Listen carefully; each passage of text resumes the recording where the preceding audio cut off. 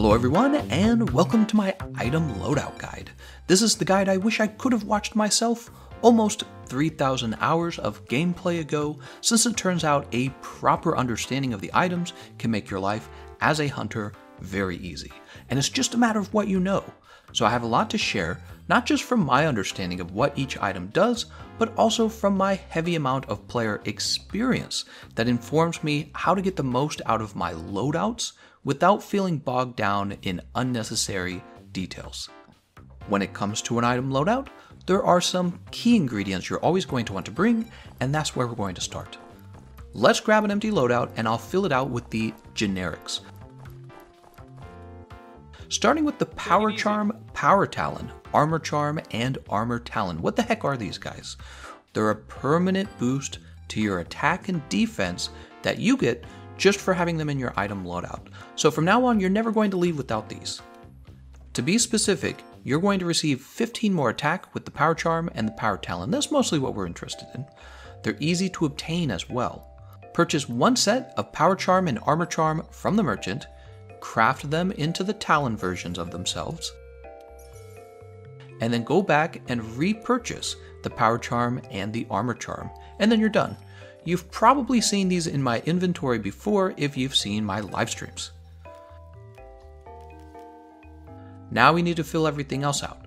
Here's a question for you What do you think is better for healing? Mega Potion or Max Potion?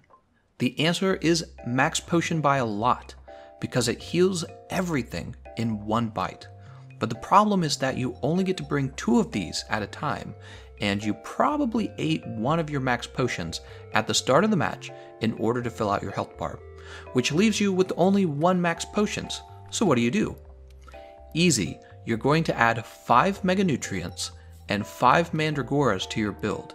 This lets you craft 5 more max potions without having to go back to the camp for more. This is one of the biggest improvements to anybody's item loadout that you could possibly make. It was one of my favorite improvements when I finally discovered it. What else is essential to your loadout? Not a lot actually. With 7 max potions and 10 mega potions, your loadout is going to do a great job keeping you alive, so you're already in good shape. But let's throw in a Farcaster, which is going to let you restock at camp even in the middle of the fight. So a, a Farcaster, you basically use this even though the monster is aggro to you and you've got the red ring around your map and you can't just open your map and leave back to camp, you can use a Farcaster and this automatically sends you back. At this point, you now have the most essential items of a loadout, but let's not stop there. We don't want to just survive, we want to flourish.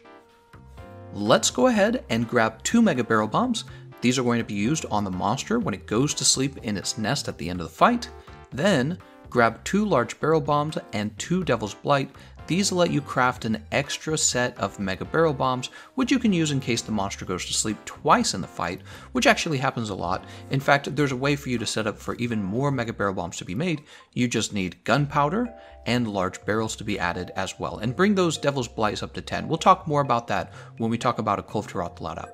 So, uh, especially if you brought the Palico Band Ball when you're playing with your Palico, or you have a teammate who's using like a bowgun, you can expect the monster to go to sleep once, twice, three times in the fight, and this is why having extra Mega Barrel Bombs with your loadout is a very good idea.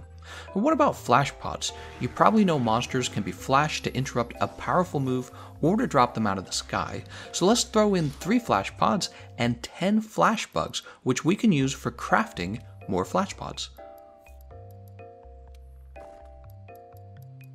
One of my latest discoveries about item loadouts that I've been wanting to bring more attention to is just how effective life powders are, right? Like, I've always known they could heal my teammates, but things changed when I learned how to craft them mid fight with the radial menu, and my approval of them shot way up. Notice how you can only add three life powders at a time, which was the main reason I didn't think much about them. You just kind of run out too quickly. Now, underneath the life powders, we're going to add 10 god bugs and 10 blue mushrooms. It turns out these can be used to craft 10 more life powders, and you're going to want to stick around for the part of the guide where I discuss radial menu tricks because there's some important information to know about the radial menu that also doesn't get talked about enough in my opinion, and life powders will be a part of that discussion. So check it out. We've got heals, we've got team heals, We've got flash pods, we've got mega barrel bombs for wake ups, and more ingredients for more mega barrel bombs, and a Farcaster that lets you jump back to camp in an instant to restock all of this. But we aren't done. There's one more important